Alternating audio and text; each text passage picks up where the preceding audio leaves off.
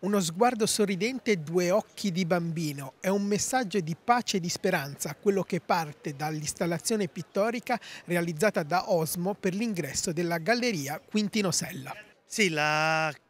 cosa più difficile era affrontare un tema di questo tipo senza risultare retorico, senza risultare scontato o senza col rischio di celebrare quella che si voleva contestare, no? perché spostare l'accento sulla guerra anche dicendo no alla guerra, però si, in qualche modo si rafforza l'idea della guerra, nominandola. E quindi l'idea qua è stata proprio quella di accerchiare il problema e affrontarlo come sostiene uno dei miei grandi maestri, Alejandro Jodorowsky, l'arte deve essere sempre positiva, quindi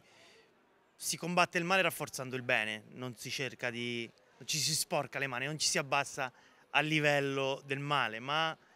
si, eh, si sottolinea l'importanza del bene. È quello che ho cercato di fare con, eh, con questa, questa immagine di questo bambino o bambina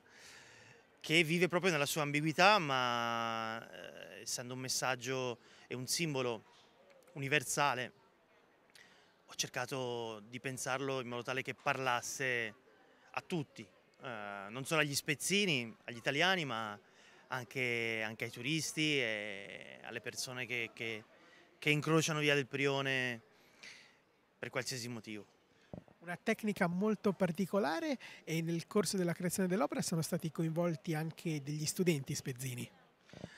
Allora, ho fatto, ho fatto vari incontri con, eh, con, gli studenti del liceo, eh, abbiamo avuto gli studenti del liceo che sono venuti anche qui e mi hanno visto lavorare, ho fatto eh, un laboratorio con i bambini al Museo Lia, abbiamo fatti dipingere sul muro, eh, una scritta di benvenuto dal museo,